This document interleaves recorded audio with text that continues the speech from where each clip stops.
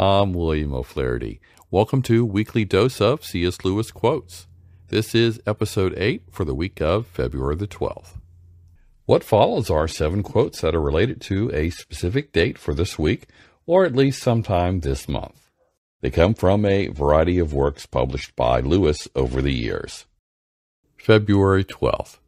We act from duty in the hope that some day we shall do the same acts freely and delightfully. February 13th. God is related to the universe more as an author is related to a play than as one object in the universe is related to another.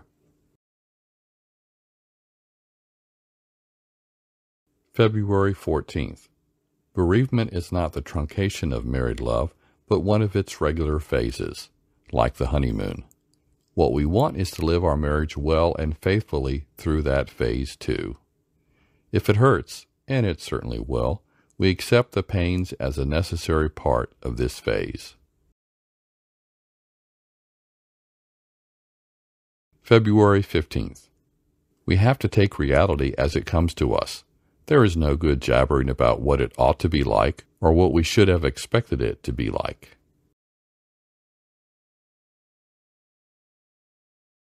February 16th. Screwtape boast it is funny how mortals always picture us devils as putting things into their minds. In reality, our best work is done by keeping things out. February 17th. The Christian does not think God will love us because we are good, but that God will make us good because he loves us.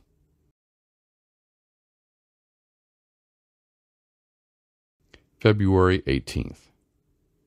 The pleasure of pride is like the pleasure of scratching. If there is an itch one does not want to scratch, but it is much nicer to have neither the itch nor the scratch. As long as we have the itch of self regard, we shall want the pleasure of self approval. But the happiest moments are those when we forget our precious selves and have neither but have everything else God, our fellow humans, animals, the garden, and the sky instead. Again, I'm William O'Flaherty. I hope you enjoyed this week's quotations and that you'll leave a comment to let me know what you think of them. Plus, share a favorite quote or two that you especially enjoy by C.S. Lewis. Also, I hope you will check out the books or essays by Lewis that were referenced in this video.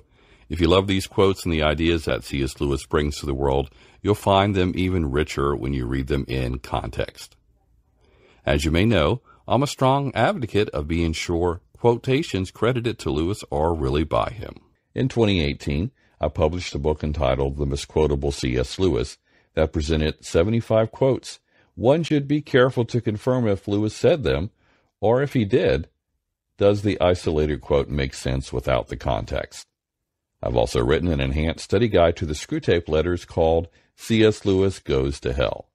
You can find links to them in the description. Don't miss the next set of quotes. Plus, in the description are links to some of the previous quotes episodes.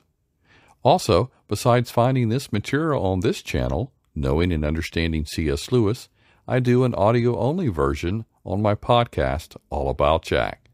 That's located at allaboutjack.podbean.com. Links to both are on my website, essentialcslewis.com, where you can also find the list of quotes as well. Did you know, in addition to having a Facebook group called Knowing and Understanding C.S. Lewis, I have another Facebook group devoted to the topic of confirming C.S. Lewis quotes. There are links to them in the description below. Finally, if you want to see the quotations each day, the best way to do that is to visit my other Facebook group that is the same name as my website, essentialcslewis.com. Before you go, give this video a thumbs up share it with others, and subscribe to this channel.